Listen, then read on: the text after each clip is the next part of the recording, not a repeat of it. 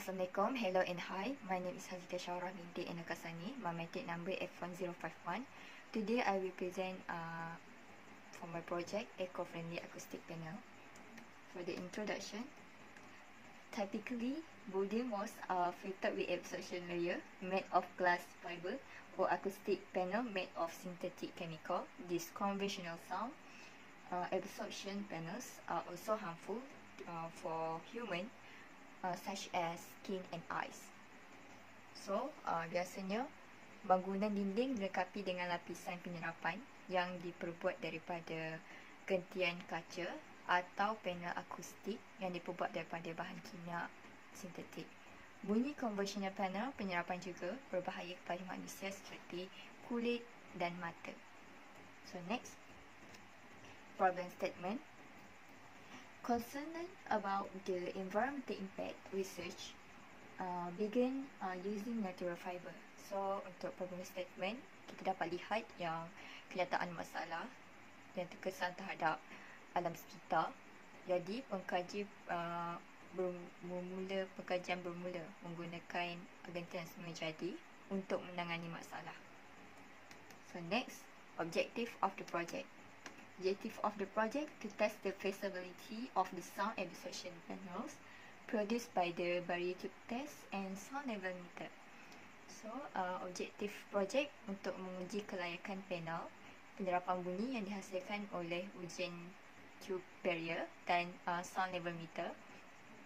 So, for the tube test barrier, for the tube test barrier uh, adalah untuk guna pasti perkali penyerapan bunyi dalam nombor tahap dimensi antara 0.0 dan 1.0 adalah sebahagian kecil daripada tenaga bunyi uh, mungkin berlaku apabila diserap dari permukaan uh, permukaan bahan. Kaedah ini uh, memberikan hasil bunyi yang mampu menyerap bunyi dengan lebih baik.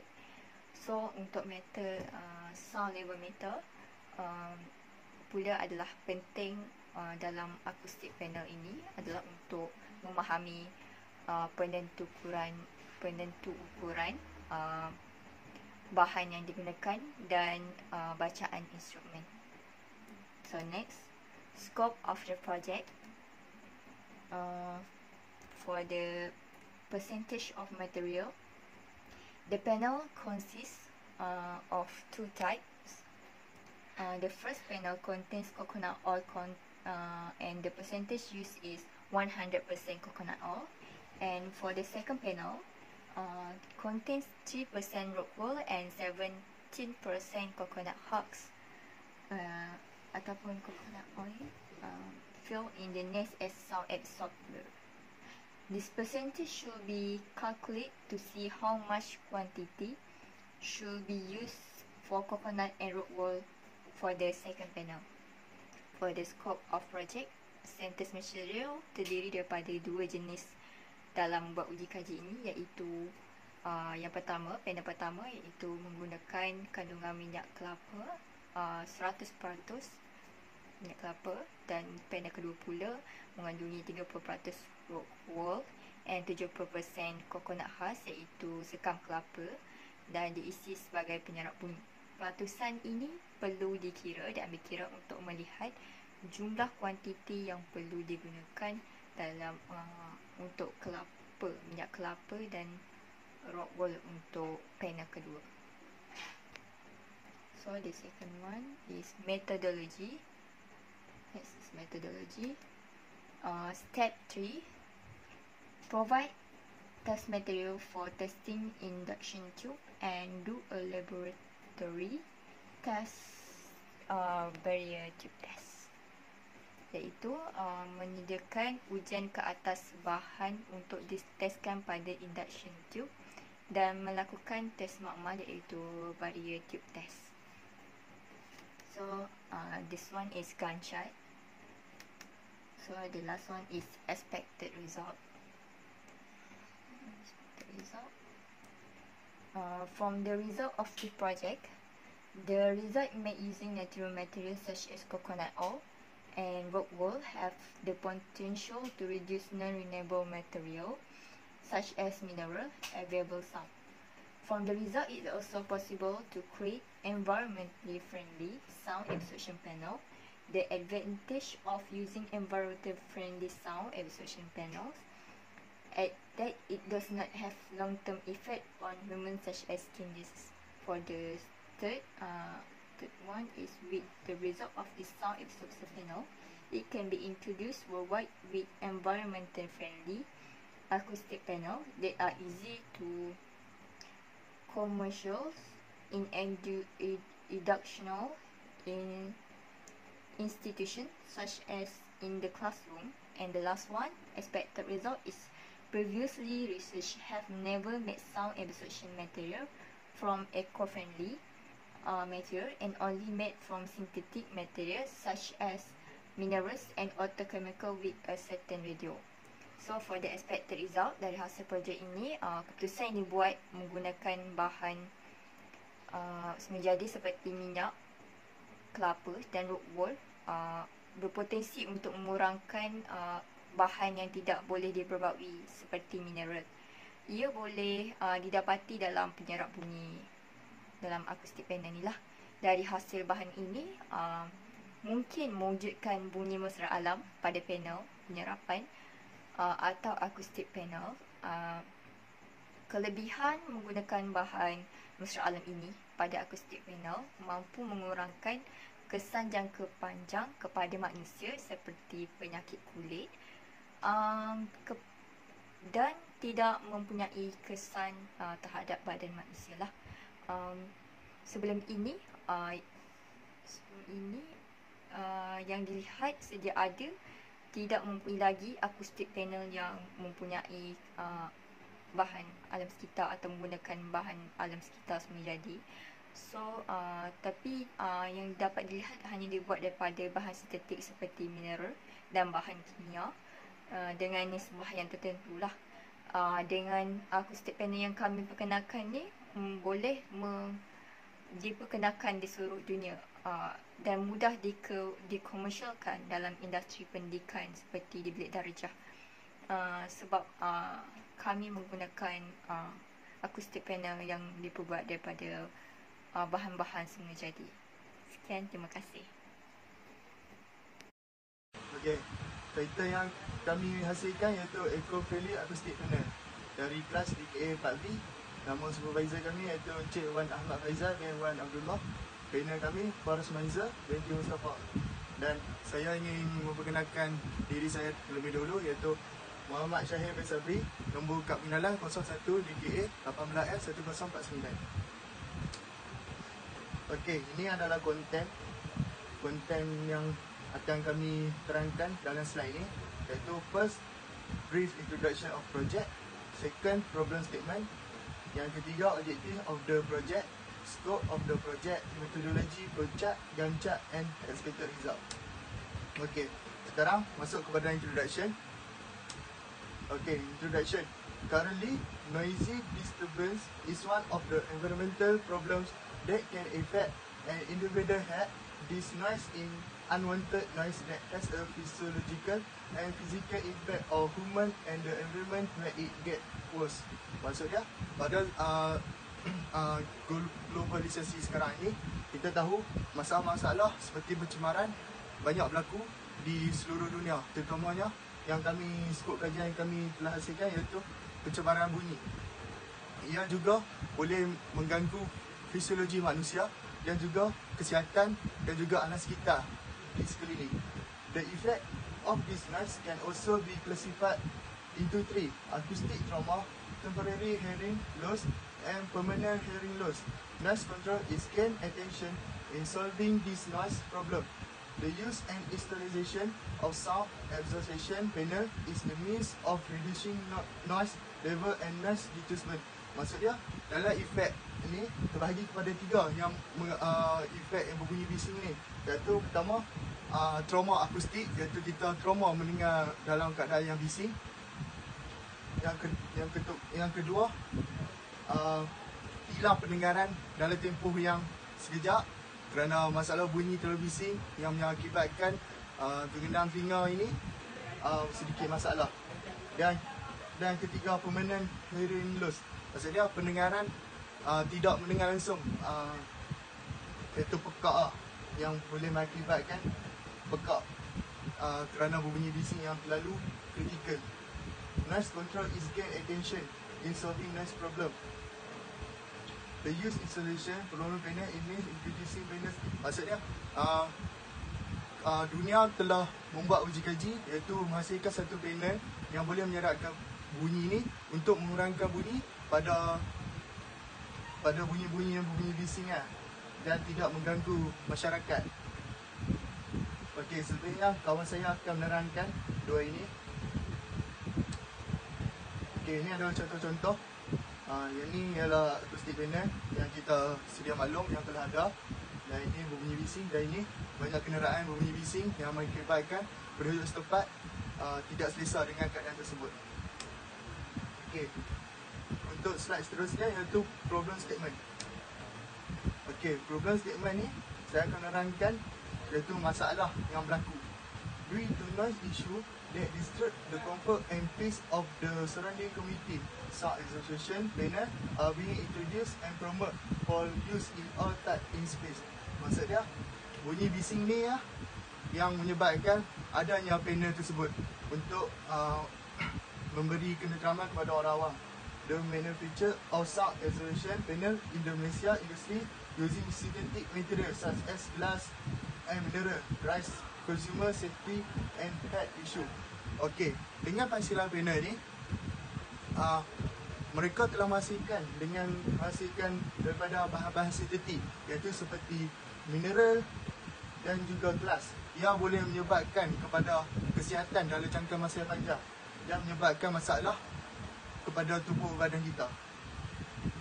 Okey, seterusnya rakan-rakan saya akan menerangkan problem skema yang seterusnya. Okey, objektif of the project. Untuk objektif bahagian saya, saya akan mengambil iaitu to produce environmental friendly sound absorption panel made of natural material such as coconut oil with the use synthetic material dan menggunakan rock wool. Scope of the project seperti yang saya mengambil tadi iaitu saya punya objektif saya akan terangkan skopnya berdasarkan objektif yang saya telah ambil. Iaitu first sebab apa? Uh, saya menggunakan kami menggunakan rock wool. Satu rock wool use of sound capture technology is widely used by user. Rock wool is able to capture the sound because there are space that can capture the sound effect. Maksudnya rock wool ni bukannya satu bahan berbahaya tetapi ianya boleh juga menyerap bunyi dan juga uh, fungsi lain wool ni dia juga kalis api. Terusnya use coconut extract kami uh, masuk di jus coconut extract ni kami menggunakan hampas kelapa untuk membuatkan panel tersebut tanpa menggunakan bahan sintetik seperti gelas dan gelas dan mineral. Coconut extract is one of the most commonly used ingredient. In addition, there have been no studies on the use of coconut residue in the acoustic field. However, coconut oil can absorb some energy due to factors such as porosity. Maksudnya, seperti yang kita tahu, ampas kelapa ni untuk membuat santan. Selepas membuat santan, bahannya mesti terbuang. Jadi bahan yang terbuang tu kami akan mengambil sebagai untuk membuat uji kaji tanpa pernah dilakukan oleh orang ataupun pekaji sebelum ni. Kami menggunakan bahan ni sebab uh, hampas kelapa ni mampu untuk menyerap bunyi dan ianya perlu uh, memerlukan banyak proses untuk memastikan ianya untuk menjadi bahan untuk menyerap bunyi. Okey, seterusnya iaitu metodologi. Untuk metodologi, flowchart. Untuk uh, objektif yang saya terang tadi, saya akan menerangkan bahagian saya saja, iaitu berdasarkan flowchart ini.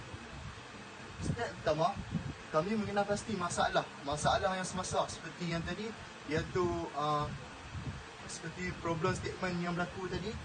Kenapa? Kenapa bahan sintetik tu tidak bagus kepada uh, tidak bagus untuk membuat panel kerana ianya dalam jangka masa yang panjang boleh mengakibatkan kesan sampingan seperti uh, penyakit kulit dan sebagainya. Seterusnya kami do scientific research membuat kajian uh, seterusnya seperti kami membuat panel tersebut menggunakan hampas kelapa. Jadi hampas kelapa tersebut kami membuat kajian bagaimana ia boleh menyerap menyerap uh, menyerap bunyi dan melakukan berbagai lagi kajian untuk membolehkan ampas kelapa tersebut uh, berjaya untuk menyerap bunyi. Dan step kedua ialah preparation of material. Kami menyediakan bahan seperti uh, tray telur, lepas tu uh, tray telur, uh, lepas tu seperti kayu untuk membuat panel tersebut, kain, uh, hampas kapal, lepas tu rock wool. Coconut, rock wool, bubble wrap, box, plywood, wood frame. Ah, kami juga menggunakan bubble wrap ni. Sebab bubble wrap ni apabila kena basah, ianya kalih basah. Dan boleh melindungi uh, kami punya panel akustik tu daripada terkena air dan tidak berfungsi. Drying of coconut husk. Okey, step seterusnya kami akan mengeringkan kami punya hampas kelapa tersebut dalam keadaan yang sekering-keringnya untuk melakukan uji kaji. Jika uh, ampas kelapa ini dalam keadaan yang basah, ianya tidak berfungsi untuk menyerap bunyi kerana dalam keadaan lembab. Okey, seterusnya design of sound absorption panel using the SketchUp app. Okey, seterusnya kami akan design kami punya uh, penyerap bunyi ni dengan menggunakan SketchUp SketchUp app untuk menghasilkan bentuk panel yang kami mahu dan lebih teliti. Okey, step seterusnya rakan-rakan saya akan menerangkan. Okey, untuk gancak pula. Gancak ni menerangkan untuk kita di SMD nanti dengan keseluruhan minggu dan dari awal hingga hingga ke final presentation project. Okey, untuk minggu pertama. Minggu pertama iaitu minggu pendaftaran. Yang kedua, kami buat writing proposal for chapter 4 dan 5 pada minggu kedua hingga minggu ke-10 untuk melengkapkan kami punya proposal 1, 2, 3, 4 dan 5 make a final correction or methodology kami membuat uh, final correction uh, iaitu pembetulan akhir pada minggu keempat dan minggu keenam untuk metodologi kerana pada siang depan kita boleh tahu projek kita macam mana. Jadi bolehlah kita masukin metodologi tersebut. Dan looking for materials duduk akustik panel mencari bahan pada minggu pertama hingga minggu ketiga dalam tempoh tersebut. Mungkin dalam masa 2 minggu boleh dapat saja barang dia. Lepas tu do drying of coconut. Ah, proses pengeringannya hanya mengambil satu minggu ya. Minggu minggu pada minggu kedua. Kerana pengeringan tidak tentu uh, keadaan cuaca tak pasti kan. Tapi dalam satu minggu tu kami memastikan keadaan uh, kami punya ampas kelapa tu dalam keadaan yang kering. Seterusnya design panel using app. Okey. Pada minggu kedua dan minggu ketiga kami akan membuat design kami menggunakan app SketchUp. Pada dua minggu untuk mengambil masa untuk menghasilkan panel tersebut untuk mengetahui bentuk dan rupa. Okay, provide time material for testing induction tube. Okay, untuk untuk minggu keempat hingga minggu ketujuh kami akan membuat uh, iaitu testing menggunakan tube uh, gelangan iaitu tube untuk mengkaji bunyi tersebut sama ada kami punya panel tersebut mampu untuk menyerap bunyi ataupun tidak. Ianya mengambil masa empat minggu, satu bulan lah. Carry out a laboratory test induction tube. Okey, lab juga akan dilakukan pada minggu minggu ke-7 dan minggu ke-8 dalam masa 2 minggu lah untuk mengetahui analisis-analisis berkaitan dengan kami punya uh, akustik panel ni, bagaimana bunyi dan serapan yang berlaku. Di situ akan tahu sama ada kami punya uh, akustik panel tu berjaya atau tidak. Okey. Seterusnya iaitu sound exhaustion panel produce yang kami minta hasilkan selepas buat ni mungkin kita tahu result dia berjaya atau tidak. Kalau berjaya kami akan membuat panel tersebut pada minggu ke-9 hingga minggu ke-13 selama satu bulan untuk menghasilkan panel tersebut. Seterusnya operation e-report. Uh, pembetulan pada report juga akan dilakukan selepas semua uji kaji ini dilakukan dan preparation for final presentation and final presentation project pada minggu ke-14 dan 15. Okey, untuk expected result. Expected result apa yang kami cangkakan setelah projek kami siap. Okey, from the result of the project, the result made using uh, kami menggunakan bahan ini, kami yakin ianya boleh disiapkan dan juga berjaya untuk menyerap bunyi dan projek kami ini boleh berjaya dan dan uh, seterusnya Okay, from the result, it is also possible to create environmental friendly evolution panel. Dan kami berharap juga yang kami um, kami punya acoustic panel ni berjaya dalam uh, tanpa menggunakan bahan sintetik lain dan mengurangkan uh, bahan mineral seperti, uh, seperti bahan mineral dan juga dan juga bahan yang lain kan yang boleh mengakibatkan uh, bahan yang tidak boleh semula jadi. With the result of the sound isolation panel, it can be introduced forward with environmental friendly acoustic. Okey, setelah kami menghasilkan projek tersebut dengan siap, kami berharap kami punya acoustic panel uh, mesra alam ni boleh di commercial di seluruh dunia dan di seluruh Malaysia dengan uh, dipromosikan dengan uh, seperti industri-industri yang terkenal untuk memperkenalkan kami punya acoustic panel ni kerana ianya bermanfaat kepada untuk orang ramai. The research have never made sound isolation material from eco-friendly material and only made synthetic material such as seperti seperti mineral dan bahan kimia. Dan nisbah yang kami hasilkan tu mengikut nisbah yang tertentu untuk menghasilkan panel tersebut sebagai pula umum. Kira. Assalamualaikum warahmatullahi wabarakatuh. Nama saya Muhammad Farhan Imam bin Muhammad Fadil Nama kad meter saya 01 DKA 18F1050 uh, Nama projek kami ialah Eco Friendly Acoustic Panel. Uh, Dalam membahagikan tugas okay, Untuk introduction saya Introduction saya, saya ambil yang yang ini dia um, kami telah uh, melakukan beberapa perkara untuk menangani masalah penyerapan bunyi yang ada sekarang ini seperti uh, penyerapan panel penyerapan bunyi konvensional yang boleh memberi kesan negatif kepada kesan kepada kesihatan manusia dan sekelilingnya. Um, dia juga uh, kami juga dapat kami juga mengkaji yang ada beberapa bahan semua jadi yang boleh digunakan um, untuk penyerapan bunyi yang tidak menyebabkan kesan negatif kepada kesihatan manusia seperti sabut kelapa, pokok pisang, uh, kulit kulit kulit kelapa dan sebagainya lah. Okey. Okey. Untuk problem statement yang saya akan terangkan ialah ialah dia oleh itu penggunaan serat semula jadi adalah salah satu kaedah lain yang dapat dilihat untuk menyelesaikan masalah yang berkaitan dengan panel penyerapan bunyi yang sedia ada. Kami di sini kami mengkaji yang panel penyerapan yang ada sekarang ni dia menggunakan panel penyerapan konvensional yang mengandungi bahan-bahan kimia yang berbahaya kepada kesihatan manusia. Jadi kami telah jadi kami telah mengkaji uh, bahan-bahan semula jadi yang boleh dipakai untuk membuat uh, penyerapan bunyi, alat penyerapan bunyi yang bantu manusia untuk menyelesaikan masalah mereka. Uh, macam saya cakap tadi seperti bahan yang sebenarnya saya dah cakap tadi. Okay, uh, untuk objektif of the project yang saya akan terangkan adalah uh, di bawah ni.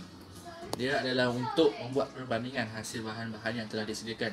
Uh, maksudnya kami menggunakan dua bahan dua perbandingan iaitu satu panel kami menggunakan raw wool dan satu panel lagi kami akan menggunakan bahan semula jadi iaitu bahan uh, iaitu sabut kelapa bahas semula jadi. Jadi kami akan membandingkan kedua-duanya untuk lihat yang mana lagi lebih berkesan.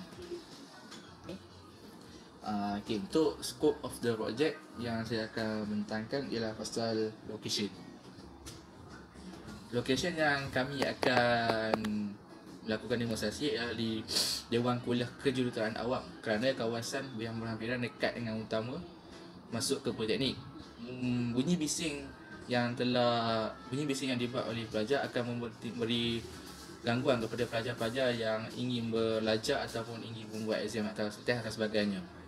Uh, lokasi yang selain yang boleh kami juga buat akan buat seperti di hospital atau di tempat lain lah yang tempat yang bising tapi memerlukan aman. Okey. Okey untuk pembentangan meteorologi untuk bahagian saya saya akan memilih saya memilih step yang keempat. Iaitu step saya ialah apabila uh, bunyi itu satu bunyi dikeluarkan panel yang kami uh, buat tadi yang menggunakan sama ada rock wool atau akan menggunakan sabuk kelapa akan menyerap bunyi-bunyi itu. Selepas menyerap bunyi-bunyi itu bunyi uh, itu akan diserap dan kami akan mengundinya dan kami akan menggunakan meter tahap bunyi untuk mengukur tahap bunyi itu uh, mengkaji dia punya yang mana lagi bagus untuk penyerapan bunyi. Action. Okey, untuk gancak kami ini untuk gancak kami iaitu uh, gancak ini berlaku selama 15 minggu 15 minggu.